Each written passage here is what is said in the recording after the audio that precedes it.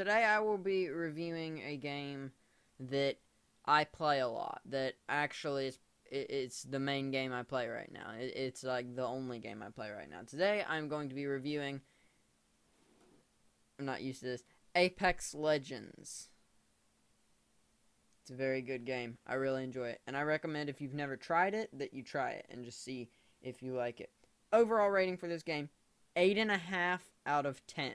Now, the reason why I rate it 8.5 out of 10 is because, to me, at least, it just keeps getting better.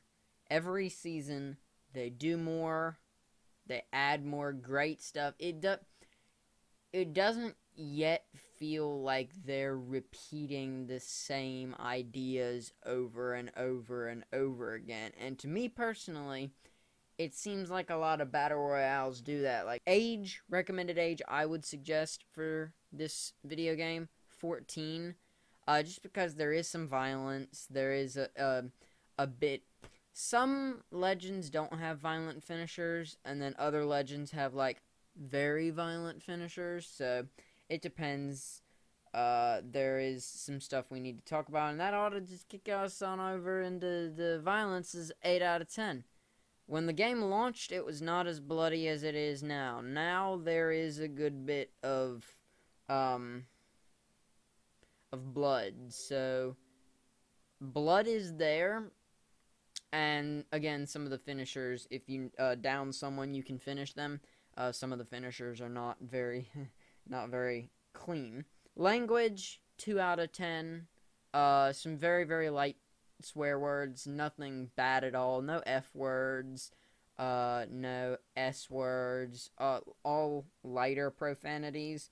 And then adult content is 2 out of 10. One particular character should probably wear some more clothing, and also some characters wear tight stuff. Uh, they just wear tight clothing. That's pretty much it. If you play Apex, you know exactly who I'm talking about.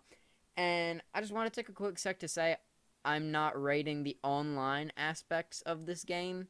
Uh, if I were rating the online aspects, I would rate the language 10 out of 10 because you will occasionally get in with someone who swears up the lobby. However, when you're loading into a game, you can push just one button once. You push Y on the Xbox controller, triangle on the PlayStation controller, and it mutes everybody in in the squad. So that's very useful if you know you're not into um if you're not into talking to other people. I will say it's a great game to play with friends. If you can get like maybe two other friends to play the game with you, it gets a lot better um to say the least. But yeah, that is my review of Apex Legends. Do you think I did a good job? D let comment. Also, again, just quickly wanted to say sorry that I haven't been posting quite as much. The reason being is because soccer is getting toward the end, so soccer's been pretty hecka crazy over the last two weeks, and also setup. You know, like I had to I had to change some stuff in the hardware of my computer to have it support this second monitor. I had to change some stuff on the computer. I had to essentially tear apart my setup, unplug everything, move stuff, and plug it back in. I think in total time working on this setup in just the last week, I've probably spent 12 or 13 hours literally just like moving stuff and rearranging stuff. I've also got Gibraltar's Warhammer hanging on my wall now, which is amazing. Goodbye.